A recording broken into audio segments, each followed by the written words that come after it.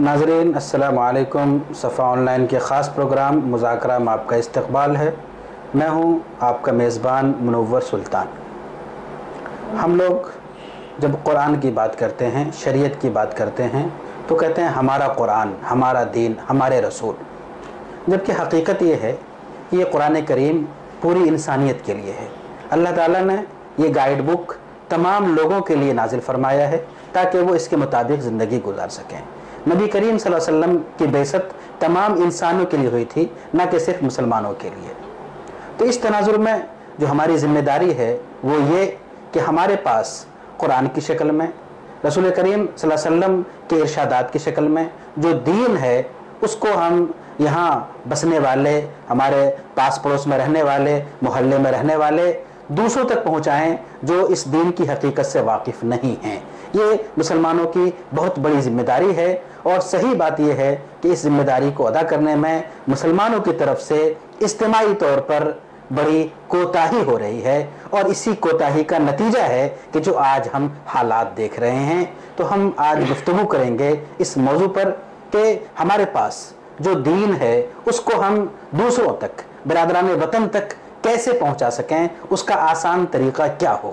ہم سب کے دل میں خواہش ہوتی ہے کہ ہم یہ چیز دین دوسروں تک پہنچاتے۔ لیکن ہمیں ایک ہچکچاہٹ ہوتی ہے، ہیسیٹیشن ہوتا ہے کہ ہم ان سے کیسے بات کریں، کیا بات کریں۔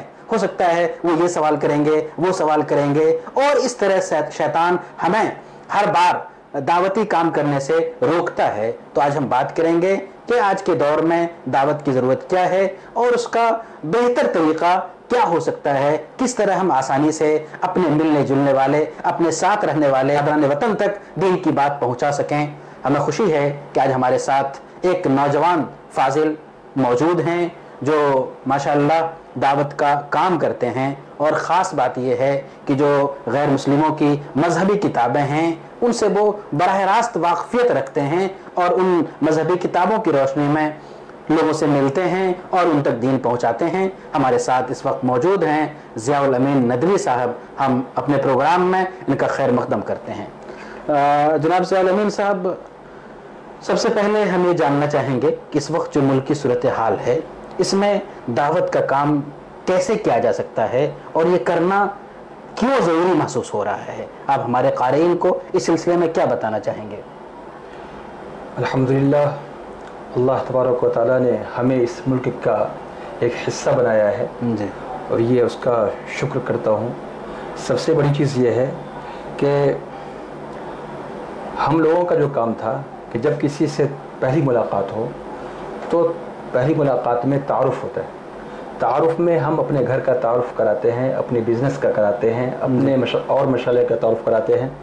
لیکن ہمارا جو مقصد تھا وہ ہے اللہ کا تعارف کرانا۔ جی۔ ہم اس میں سستی اور کوتاہی سے کام کرتے ہیں جس کی بنیاد پر آج ضرورت آن پڑی ہے۔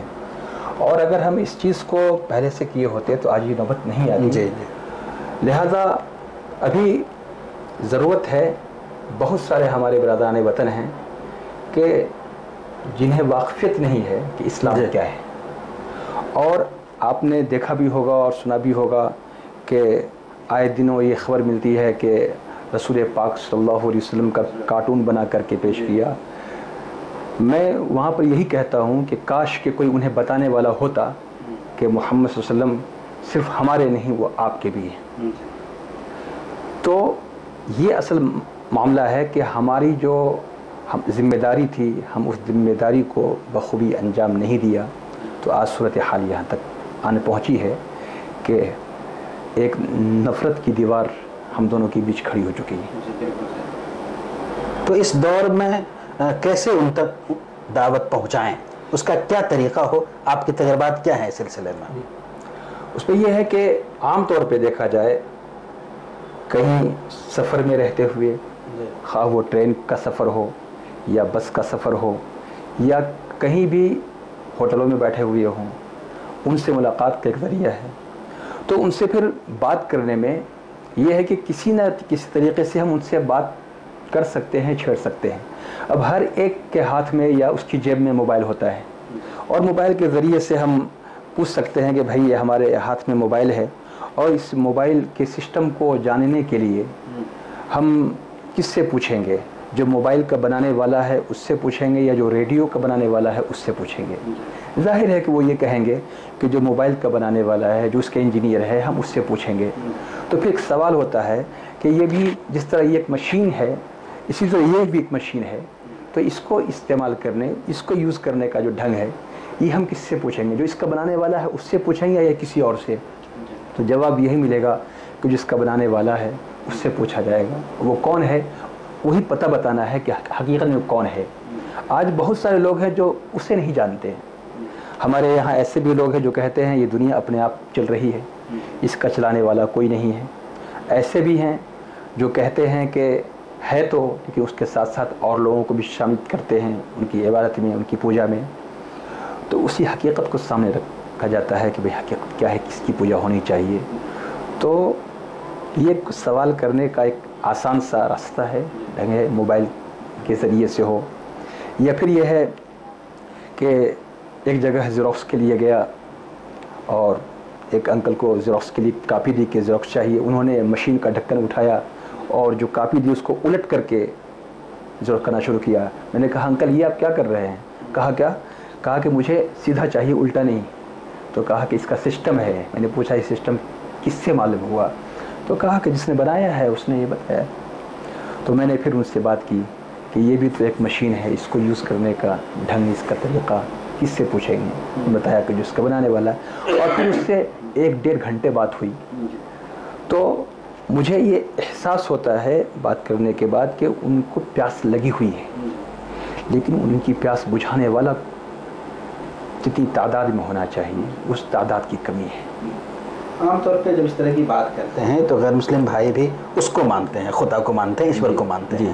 لیکن جو خدا کا صحیح تعارف ہے وہ کس طرح ان کے سامنے کرایا جائے کہ جو ان کا اپنا تصور ہے جی۔ اس میں جو ان کے شبہات ہیں وہ ختم ہو جائیں اور صحیح تصور ان تک پہنچے۔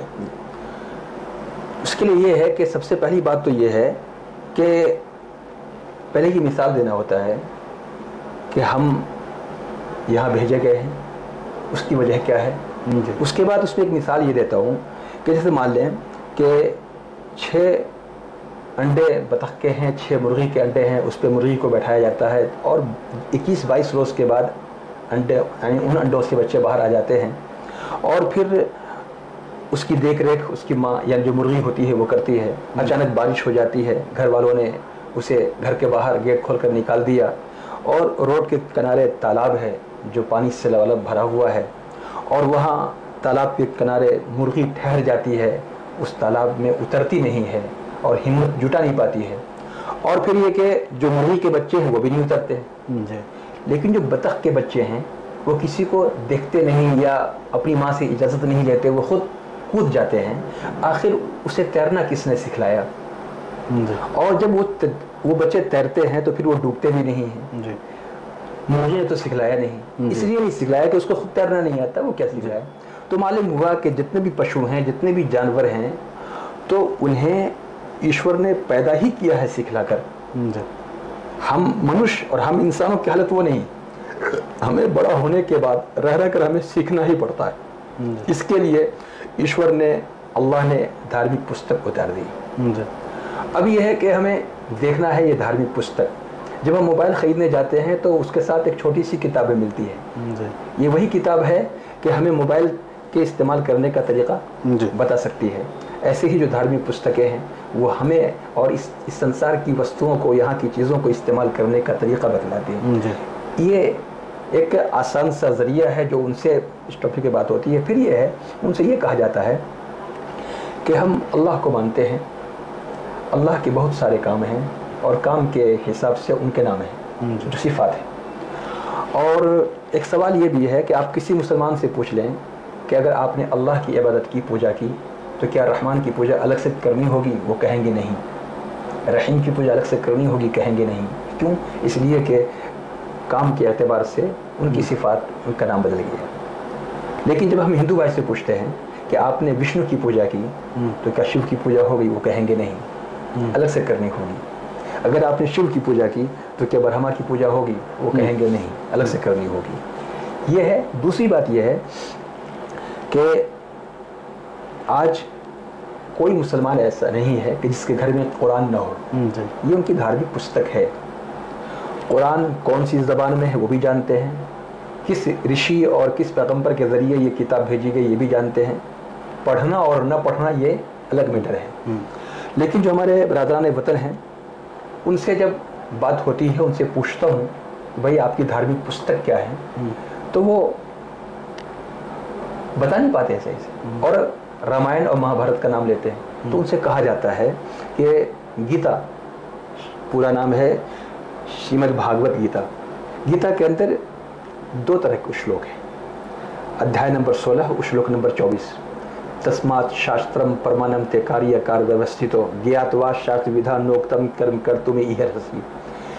کہ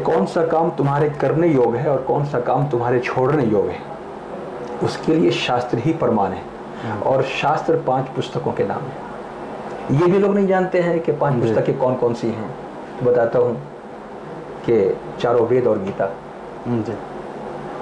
تو معلوم ہوا کہ جو گیتا کے ماننے والے ہیں جو سناتن دھرمی بھائی ہیں بہت سے لوگ تو ایسے ہیں جو اپنے دھرم کا نام ہی بتاتے ہیں سیدھے کہتے ہیں ہندو دھرم۔ جی۔ لیکن نہیں گیتا کے اندر ہی یہ بات بتائی گئی ہے کہ تبمو یا یہ شاشوت دھرم گوپتا سناتنستوم پروشو متوں میں کہ اسے سناتن دھرم اور شاشوت دھرم کے نام سے جانا گیا ہے۔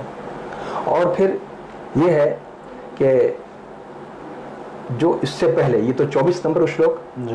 تیئیس نمبر کا جو شلوک ہے وہ یہ کہ یہ شاچ ودھی مجھ سے جورتتے کام کرتہ نہ سسدھی مواپنوتی نہ سکھم، نہ پرام گتی۔ تو ادھیائے نمبر سولہ اشلوک نمبر تیئیس اور چوبیس۔ تو یہ کیا ہے؟ اس میں لکھا ہے کہ جی۔ اس میں یہ لکھا ہے کہ یہ شاچ ودھی مصر جورتتے کام کارتہ نہ سدھی مواپنوتی نہ سکھم نہ پرام گتیم کہ اگر کوئی منش شاستر کے نیموں کو تیاگ کر چھوڑ کر اپنی اچھا سے جیون ویتت کرنا چاہے زندگی گزارنا چاہے تو نہ سدھی مواپنوتی تو وہ سیدھے راستے کو نہیں پا سکتا۔ جی۔ نہ سکھم اور وہ چین اور سکون بھی نہیں پا سکتا نہ پرام گتم اور وہ سورگ کا ادھیکاری بھی نہیں ہو سکتا۔ تو معلوم ہوا کہ ہمارے جو سناتن دھرمی بھائی ہیں انہیں اگر مکتی چاہیے اور سورگ انہیں چاہیے تو انہیں شاستر کے انوسار چلنا ہوگا۔ اب شاستر کے انوسار چلنا ہے تو پھر سب سے پہلے تو اپنے گھروں میں رکھنا ہے۔ اس کے بعد اس کی اسٹڈی کرنی ہے اسے پڑھنا ہے اور اس کے انوسار چلنا ہے۔ اب اس میں چیز یہ ہے کہ قرآن نے واضح کر دیا ہے کہ اور جو مذہب کے لوگ ہیں، ان سے ایک چیلنج کے طور پہ کہا ہے کہ اگر آپ کے پاس ایک اللہ کو چھوڑ کر کسی اور کی پوجا کی دلیل ہے، تو آپ اسے پیش کرو۔ تو اس سے یہ بات معلوم ہوتی ہے، یہ قرآن تو صرف سعودی میں جو ماننے والے تو ان کے لیے تو نہیں تو یہ تو پوری دنیا کے لیے ہے۔ جی۔ تو اس سے بات معلوم ہوتی ہے کہ ان کی کتابوں کے اندر بھی شرک کی کوئی دلیل نہیں ہے۔ لیکن لوگوں کو سمجھنے میں دقت ہوئی ہے جس وجہ سے آج ٹرول جب برادران وطن سے اس طرح کی بات کی جاتی ہے اور آپ کا تو ماشاءاللہ تجربہ رہا ہے تو ادھر سے کیا ریئیکشن ہوتا ہے؟ ادھر سے رسپیکٹ ملتا ہے جی۔ بڑے خوش ہوتے ہیں۔ جی۔ اور جب بات ہوتی ہے تو منٹوں کی بات گھنٹوں میں بدل جاتی ہے۔ جی۔ میں تو کہتا ہوں کہ بھائی پانچ منٹ چاہیے دس منٹ چاہیے لیکن وہ چھوڑنے کو تیار نہیں ہوتے ہیں۔ جی۔ اور ایسی صورت میں انہیں بڑا آنند ملتا ہے۔ جی۔ اور انہیں اگر اس طرح کی کتابوں کی نشاندہی بھی کی جائے اور وہ جب پڑھتے ہیں تو پھر تأثر پیش کرتے ہیں کہ یہ کتاب یہ پستک تو ایسی ہے جس سے بند کرنے کو دل نہیں کرتا ہے۔ ادھر سے کراس کوشچن بھی ہوتا ہوگا۔ جی ہوتا ہے۔ جی۔ کراس کوشچن ہوتا ہے پھر اس میں یعنی اسلام کی کچھ چیزیں ایسی ہیں جو انہیں پسند نہیں آتی۔ جی۔ پسند نہ آنے کی وجہ ہی یہ نہیں ہے کہ انہیں پیغام صحیح سے پہنچا ہے۔ جی۔ یہ ہے کہ ان کے ان تک پیغام بدل کر پہنچایا گیا ہے۔ جی۔ تو اس بنیاد پر جو ان کے سوالات ہوتے ہیں ان کے جوابات دیے جاتے ہیں۔ جی۔ اور کوشش یہ ہوتی ہے کہ سوال ان کا ہو تو جواب بھی ان کا ہو۔ جی۔ اور اس اعتبار سے انہیں بات سمجھ میں آتی ہے اور پھر وہ اس چیز کو مانتے ہیں۔ عام طور پہ یہ بات کہی جاتی ہے کہ جب دعوتی مشن کے لیے آگے بڑھتے ہیں کام کرتے ہیں تو ہو سکتا ہے ماحول خراب ہو جائے ہو سکتا ہے ان کی طرف سے کچھ دوسرا سلوک ہو۔ جی۔ آپ کو عملی طور پہ کیا کبھی ایسا محسوس ہوا؟ سب سے بڑی بات یہ ہے کہ جو دائی حضرات ہیں انہیں تو کوئی بات کرنی ہے تو حکمت کے ساتھ کرنی ہے۔ جی۔ اسی لیے جب اس طرح کی بات کرتے ہوئے اگر یہ اشارہ کرنا کسی غلط کام کی طرف نسبت کرنا ہوتا ہے تو وہ ہم اپنی جانب اس کو کرتے ہیں ان کی طرف نہیں۔ جیسے مثال کے طور پہ اگر کوئی مجھے ایک تھپڑ مارے مارے تو؟ اگر میں ان سے یہ کہوں کہ اگر آپ کو کوئی ایک تھپڑ مارے تو؟ یہ نہیں کہنا ہے۔ ایک تھپڑ مجھے مارے تو آپ کو کیسا لگے گا؟ جی۔ یہ ہمیں کیسا لگے گا؟ تو یہ حکمت ہے۔ اور حکمت کا معاملہ ایسا ہے کہ مصلحت الگ چیز ہے۔ اور اس میں یہ ہے کہ اس کا ہمیشہ خیال رکھنا پڑتا ہے کہ ہم اگر دعوت دے رہے ہیں دائی حضرات تو اور بھی ہیں۔ کوئی دل کو توڑ کے دعوت دیتے ہیں لیکن نہیں۔ حکمت یہ ہے کہ ان کے دل کو توڑ کے دعوت نہ دیں ان کے دل کو جوڑ کے دعوت دیں ان کے دل کو ٹھیس نہ پہنچے۔ یہ کوشش کرنی چاہیے۔ اور جب یہ ہماری جب اس یہ انداز ہم اپنائیں گے تو کبھی کچھ اس طرح کا معاملہ نہیں آئے گا۔ اور اگر کچھ آتا ہوا دیکھا بھی تو وہ سولو ہو جاتا ہے کوئی دقت کی بات نہیں ہے۔ اس لیے کہ ہم انہیں اپنا بھائی مانتے ہیں۔ جی۔ جب بھائی مانیں گے تو وہ اگر ہمیں کچھ گالی بک دیتے ہیں یا کچھ بھی کر دیے تو ہم اس کو مسکراتے ہوئے اس کو ٹال دیے۔ پھر کچھ نہیں ہے۔ ہار اس وقت ہوتی ہے کہ جبکہ بات سے بات کوئی سمجھا رہا ہے اور اس نے جب بات سے وہ سمجھا نہیں پایا تو وہ ہاتھ اٹھاتا ہے۔ یا ہاتھ یا ہاتھ سے لڑائی ہو رہی ہے تو لاٹھی پہ آ گیا تو گویا اس کی ہار ہو گئی کیونکہ وہ ہاتھ سے نہیں مقابلہ کر سکا تو۔ جی۔ تو ہم لوگ اس چیز کو جھیلتے بھی ہیں اور کوئی اس طرح کی بات نہیں ہوتی ہے۔ یہ اللہ کا شکر ہے اور اللہ نے تو وعدہ بھی کیا ہے کہ تم اگر یہ کام کرو گے تو تمہاری حفاظت کریں گے۔ سے اپنے جو غیر مسلم بھائی ہیں ان سے بات کرتے ہوئے ان کی جو مذہبی کتابیں ہیں جی۔ ان کا بھی استعمال کرتے ہیں؟ جی ان کیا کا- اس سے آپ کو فائدہ محسوس ہوتا ہے؟ دیکھیے اصل کیا ہے کہ انسان کی ایک فطرت ہے۔ انسان کے اندر فطرت یہ ہے کہ مان لیں کہ ہم اگر سعودی میں رہتے ہیں یا امریکہ میں رہتے ہیں اور وہاں اگر کوئی اس ملک کا مل جائے تو ایک انسیت بڑھتی ہے محبت جاگتی ہے۔ جی۔ اس ویسے ہی اگر کوئی بہار کا مل جائے جی۔ تو اور زیادہ قربت ہوتی۔ ہے جی۔ کوئی اگر بیگوسرائے کا مل جائے تو اور زیادہ قربت ہوتی۔ ہے جی۔ تو یہ کیا ہے کہ ہم ان کی کتابوں سے اگر ہم یہ کہتے ہیں تو اس سے یہ فائدہ ہوتا ہے کہ انہیں لگتا ہے کہ نہیں، یہ بات جنہیں کہنی تھی وہ ہم تک یہ بات پہنچا نہیں سک رہے ہیں۔ یہ تو ان کی، یہ تو سمجھیں کہ ان کا احسان ہے اور ان کی کرپا ہے کہ یہ یہ مجھ تک پہنچا رہے ہیں۔ یہ کام پنڈتوں کا تھا اور یہ مولوی صاحبان ہی اس کام کو کر رہے ہیں۔ انہیں خوشی ہوتی ہے اور اس خوشی کا اظہار تو وہ خود کرتے ہیں جس کو جملوں میں ادا نہیں کیا سکتا ہے۔ تو آپ کو کیا لگ رہا ہے آج کے دور میں کتنا ضروری ہے دعوتی کام کرنا؟ دعوتی کام تو آج کے دور میں تو کی تو ضرورت ہی ہی نہیں، لیکن یہ سستی اور کاہلی کی بنیاد پر ہمیں یہاں تک کھینچ کر آنا پڑا۔ آج کافی ضرورت ہے۔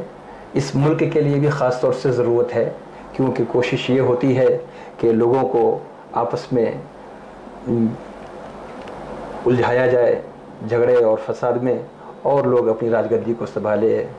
یہ سارا میٹر ہے۔ انگریزوں نے بھی اس طرح کی اس طرح کا کام کیا اور یہ کوششیں ہوتی ہیں۔ البتہ ملک کی سلامتی اسی میں ہے کہ ہم دونوں جو برادران وطن ہیں سب کو قدم بقدم مل کر کے کام کرنا چاہیے۔ لیکن جو نفرت کی بیج بوئی جا رہی ہے اسے دور کرنے کے لیے ہماری یہ ذمہ داری ہے کہ ہم ان سے قربت بڑھائیں۔ جی۔ ہم ان سے رشتہ بڑھائیں شادی وغیرہ کے موقع پر ہم انہیں دعوت دیں۔ اور باضابطہ کارڈ چھپوا کر دعوت دیں۔ نکاح کی مجلس میں اگر وہ بیٹھتے ہیں تو پھر اس موقع سے خط یعنی خطبہ نکاح کے اندر جو آیت پڑھی جاتی ہے اس کا ہندی میں ترجمہ اس کا ان- انواد کرا کر کے ان کے ہاتھ میں تھما دیا جائے تاکہ وہ پڑھیں تو انہیں اس بات کا احساس ہو۔ پھر یہ ہے کہ ہم لوگوں کو مدرسوں کے اندر انہیں لا کر بٹھانا چاہیے اور پھر دکھانا چاہیے معائنہ کرانا چاہیے کہ مدرسے میں کیا ہوتا ہے۔ یہ ساری چیزیں ہیں جس میں ہم پیچھے رہ گئے تو آج آوازیں اٹھتی ہیں۔ بہت شکریہ، جزاک اللہ. ناظرین، آپ دیکھ رہے تھے ہمارا خاص پروگرام مذاکرہ اور اس وقت ہمارے ساتھ موجود تھے نوجوان فاضل اور دائی مولانا ضیاء الامین ندوی صاحب. بہت بہت شکریہ، جزاک اللہ.